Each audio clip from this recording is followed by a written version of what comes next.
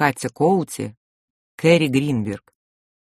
Недобрая старая Англия. Женщины викторианской Англии. От идеала до порока.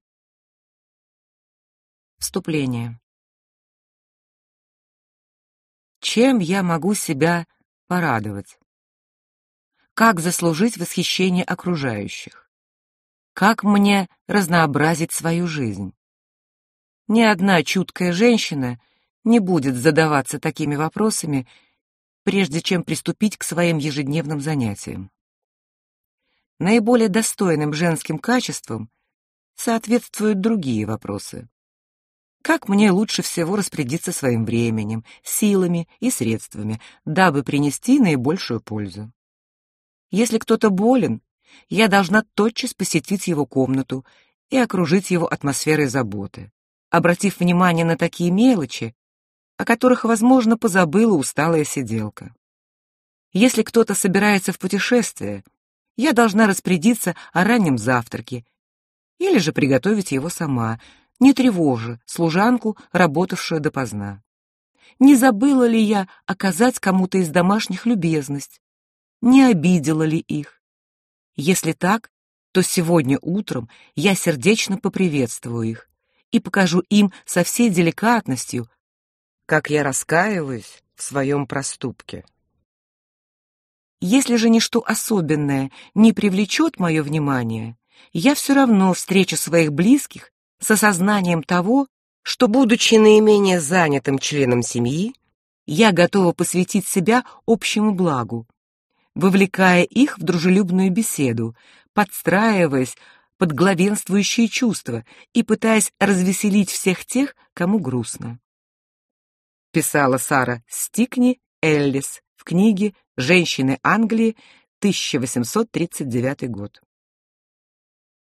На протяжении викторианской эпохи 1837-1901 бескорыстная доброта, воспетая Элис, оставалась женским идеалом.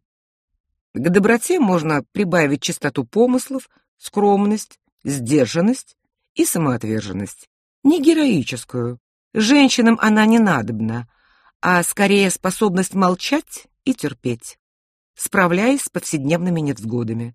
Достойную женщину сравнивали с домашним ангелом или с плющом, что поддерживает могучий дуб. Дамы из среднего класса в викторианскую эпоху стали символом своих мужей. Их роскошные наряды, дома, набитые роскошной мебелью и безделушками, сложные общественные ритуалы, которые они проводили, то и дело сверяясь со справочниками. Все это свидетельствовало о процветании их супругов, а следовательно и нации в целом.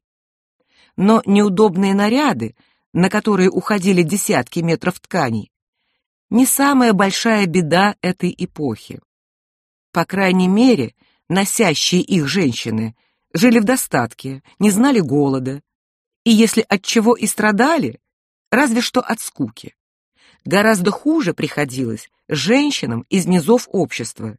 Тех ожидала безрадостная карьера служанок или же бесконечные часы работы на фабрике среди стрекочущих станков.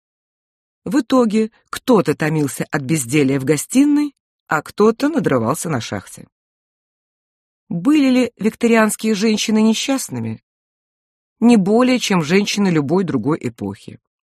Целью этой книги является показать обычную жизнь обычных женщин, что их окружало в повседневности, чем они занимались, какие наряды носили, как принимали гостей, воспитывали детей и развлекались.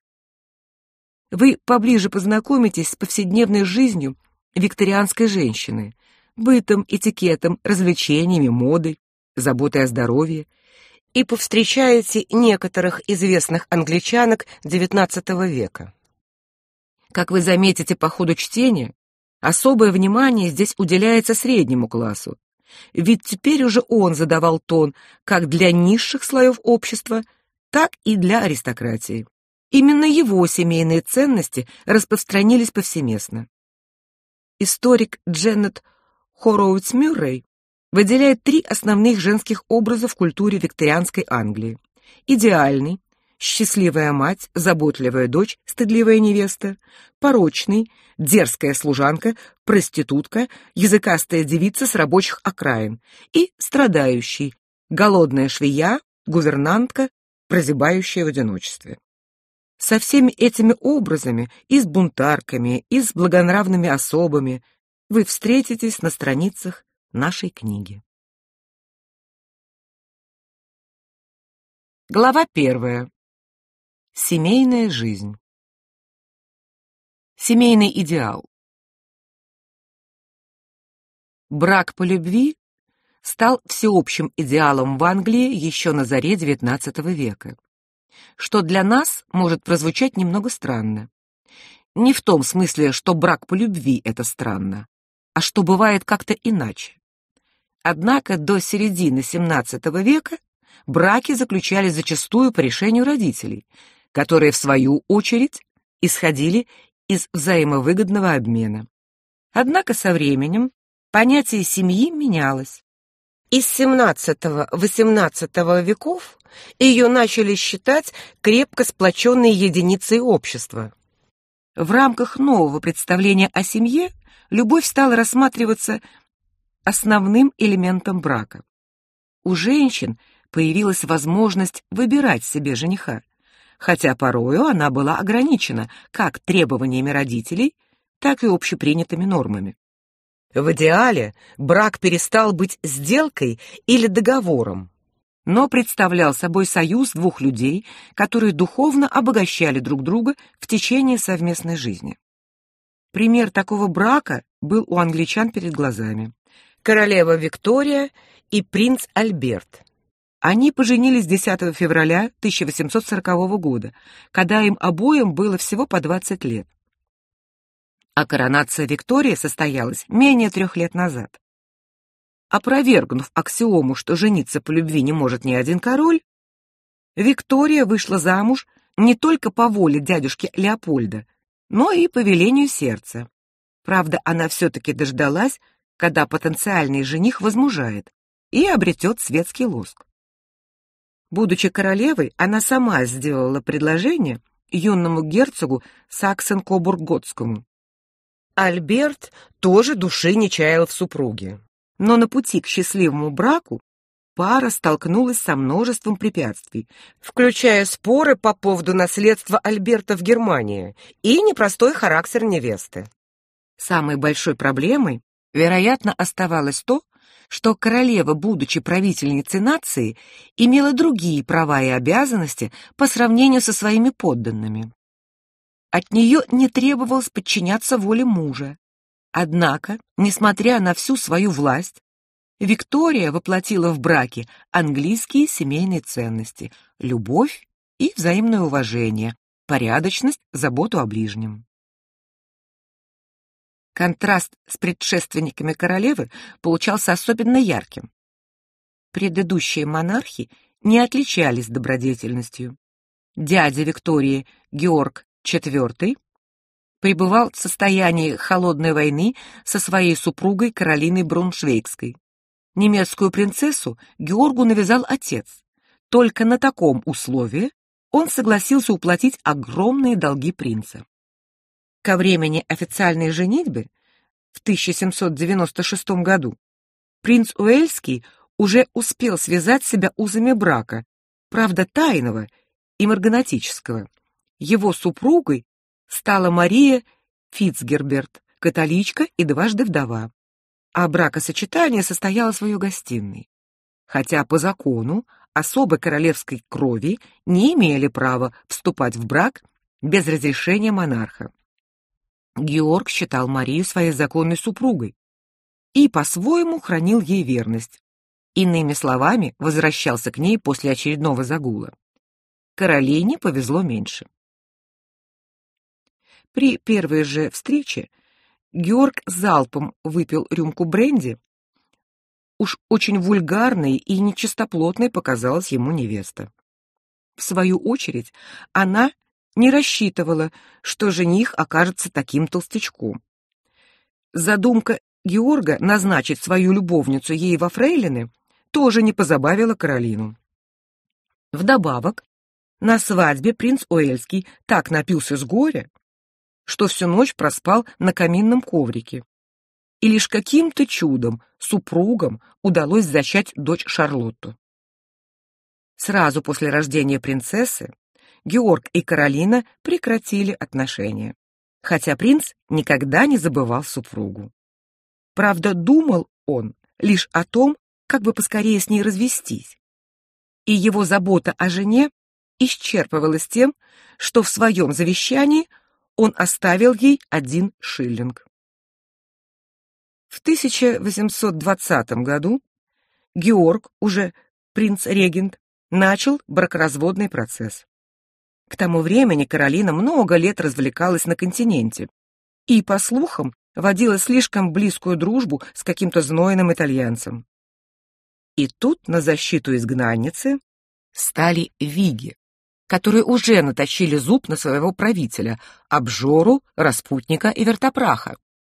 По мнению адвокатов Каролины, Георг был последним, кто имел право обвинять жену в измене, с его-то репутацией.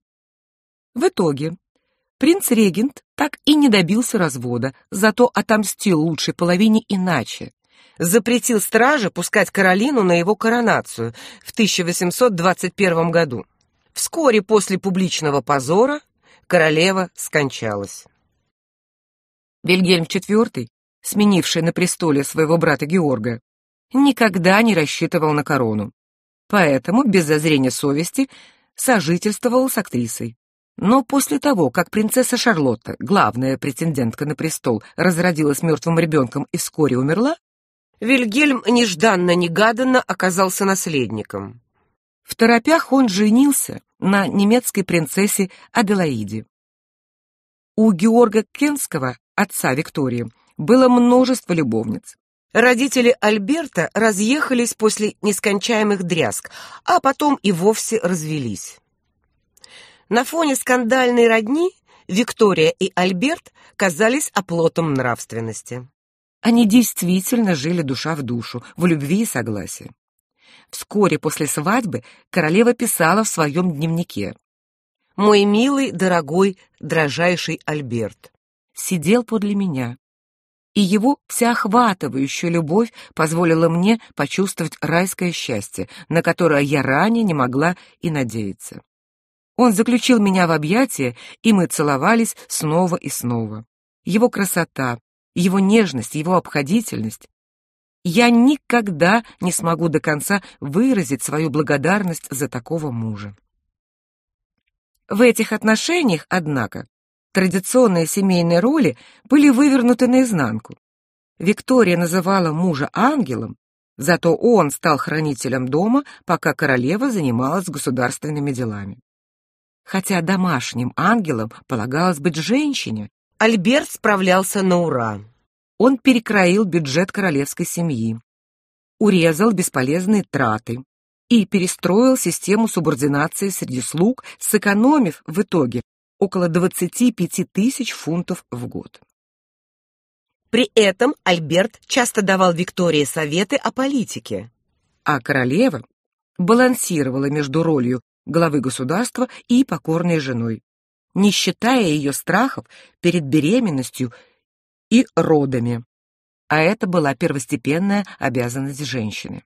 Она писала, «Мы очень отличаемся от любой другой супружеской пары. А находится в моем доме, а не я в его. Дорогой ангел Альберт, Бог знает, как я люблю его.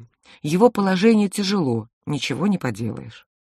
И хотя Викторию и Альберта нельзя назвать типичной викторианской семьей, они укрепили новый по своей сути идеал – брак равных.